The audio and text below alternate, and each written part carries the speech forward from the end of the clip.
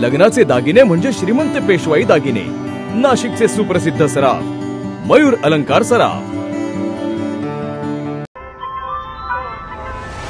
ताज्या बातम्यांसाठी नाशिक न्यूजच्या युट्यूब चॅनलला सबस्क्राईब करा आणि बेल आयकॉनला प्रेस करा.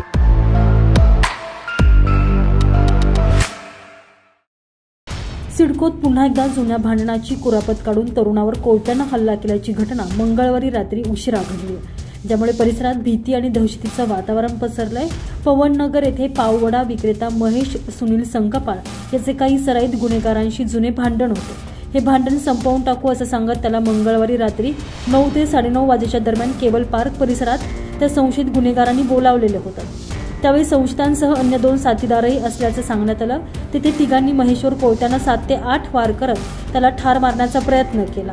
वार करून केबल पार्क नजीक एका नाल्याजवळ त्यास टाकून त्या तिघांनी त्या ठिकाणाहून पलायन केलं. जखमी अवस्थेत विवळत असलेल्या महेशला जवळून जाणाऱ्या एका महिलेनं बघितलं. धाडस करीत त्याच्याच मोबाईलमधील एका व्यक्तीस फोन लावत घटनास्थळी तिनं त्यांना बोलावून घेतलं. त्या व्यक्तीनं त्यास खासगी रुग्णालयात उपचारासाठी दाखल केलेलं आहे. अंबड पोलिसात रात्री उशिरा या संदर्भात गुन्हा दाखल करण्याचं काम हे सुरू होतं. तुषार ढेपले नाशिक न्यूज नाशिक.